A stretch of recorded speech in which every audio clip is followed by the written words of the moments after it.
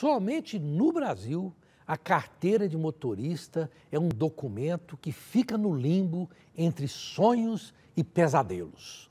Banal em quase todos os países do planeta, em que tudo é facilitado para que o cidadão possa adquirir permissão sem muitas firulas e por um valor baixíssimo, aqui é uma via crucis que leva ares de documentação do fim do mundo.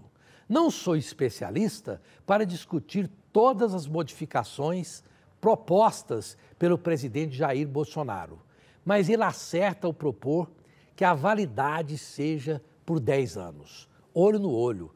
As autoridades encasteladas no Denatran e nos Detrans podiam aproveitar a maré e rezar numa cartilha diferente, facilitando os exames. As dificuldades bobas que ainda persistem é que alimentam a corrupção. Só não enxerga isso quem não quer ou tira proveito. É simples assim.